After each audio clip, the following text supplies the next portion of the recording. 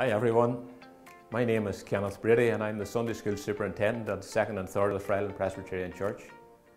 I'm here to welcome all our children back to Sunday School. We're really looking forward to seeing you all again and if because of COVID you haven't been out for a while, then you're doubly welcome. Could I just say a word to any parents listening to this who would like to send their child to Sunday School but don't have a church to go to? We'd really love to have you at ours. We start back this Sunday morning, the 11th of September. We meet every week from 10.30am to 11.15am in our church halls just beside the milestone on Newry Street, Rathfriland.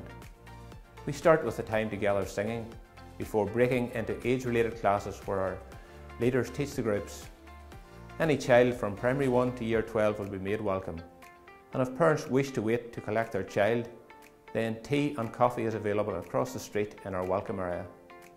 If you wish to get in touch with me beforehand, then you can contact me on the number below. Thank you.